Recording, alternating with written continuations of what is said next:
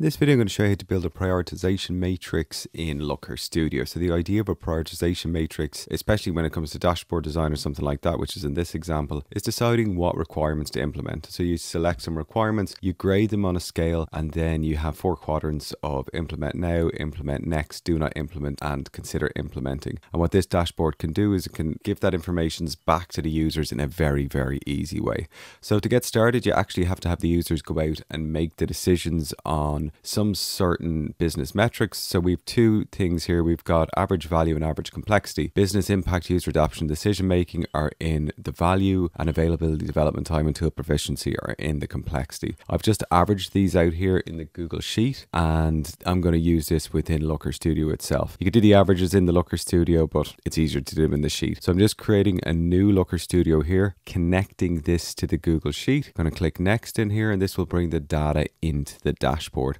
I can get rid of this out of the box visualization because I'm going to do a few things just to set this up. The first thing I'm going to do is I'm going to bring up the banner of this dashboard. This is just something I've created in Canva and is a good way to start with your dashboard because I'm going to take the colors from this by going into extract theme from image. And what I can do is I can just upload this image and then the theme comes out with the colors from that image. So it gives me three different images based on those colors. I can select which one I want. I'm going to select this one without the yellow in it. And then I'm going to start building my matrix. So I start out with a scatter plot and I'll put that scatter plot up here on the dashboard. So it's essentially just a scatter plot in the table, but we really need to style it in order to make it look like a prioritization matrix. So I'm taking my average value and I'm taking my average complexity into this on the X and Y axis. And what I want to do here just change the name in here to just value and complexity instead of average value and average complexity. In the style here, I have to start by doing a few things. First thing I'm going to do is I'm going to take these grids off. So go down to the grid and changing that to transparent. And then I want to reverse the direction of the x-axis because high complexity is bad. And then what I want to do is I want to go to that x-axis it's max 4.5 at the moment, so I want to make this max 5. So both the metrics are on the same level. And this looks like a good start. And now I can go on with the styling. First thing is a reference line. So I want a reference line halfway through my value and complexity. And that's going to make my uh, cross in the middle. So the first reference line is on the y-axis. Second reference line is on the x-axis. I'm just going to make these both solid. And I'm going to get rid of this um, text in here. So solid lines for both of them and then let's just get rid of the label on both so just unclick the label on both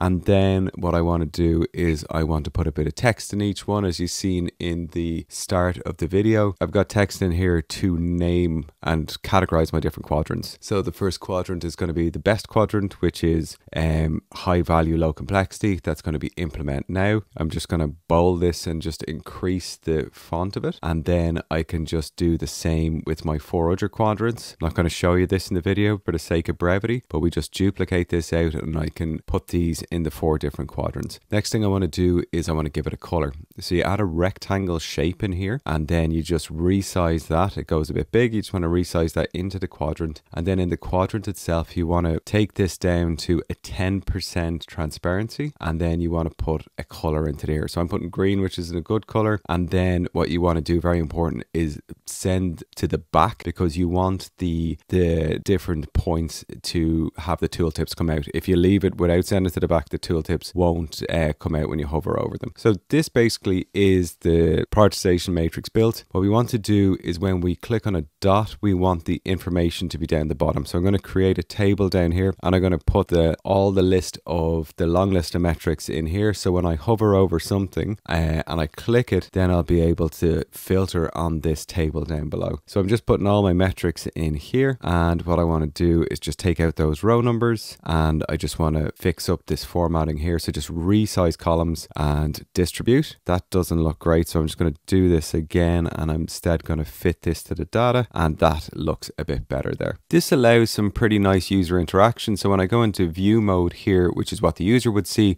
I can drag over a couple of points and those points would be highlighted there. So they're kind of my good points. And then on each point, when I double click it, you'll see all the metrics there. I really think this is a good example of taking a basic metric out of the box in Looker Studio and uplifting it for a certain purpose. I hope you found this video useful. Follow for more.